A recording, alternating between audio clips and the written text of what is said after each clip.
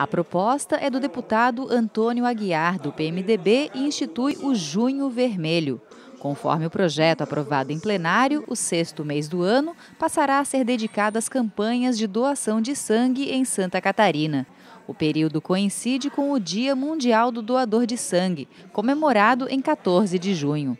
Segundo dados da Organização Mundial de Saúde, cerca de 2% da população brasileira é doadora, enquanto o ideal seria no mínimo 5%. Somente em Santa Catarina, a cada mês, o EMOSC recebe aproximadamente 1.600 doações de sangue. Esse é o principal objetivo do nosso projeto. É salvar vidas, é fazer com que o sangue seja realmente é, doado por todas as pessoas que tem essa solidariedade consigo. Ainda durante a sessão, os parlamentares aprovaram a admissibilidade de uma proposta de emenda à Constituição de autoria do deputado Mauro de Nadal, do PMDB.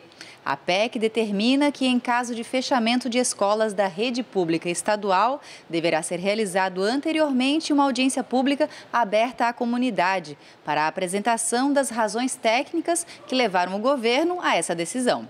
Com a nossa proposta de emenda constitucional, nós buscamos, antes eh, do acontecimento, eh, a audiência altiva, ou seja, ouvir eh, vereadores, prefeitos, a comunidade em si e também ouvirmos a Comissão de Educação aqui da Assembleia Legislativa quanto ao fechamento desse educandário, para evitarmos problemas com o fechamento que hoje a gente não encontra solução.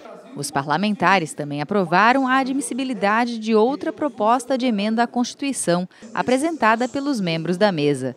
A PEC inclui o Instituto Escola do Teatro Bolshoi no Brasil, entre as entidades culturais que recebem apoio técnico, administrativo e financeiro por parte do Estado única escola do Bolshoi fora da Rússia, ela foi inaugurada em Joinville no ano 2000, com o objetivo de promover a inclusão social de crianças e jovens.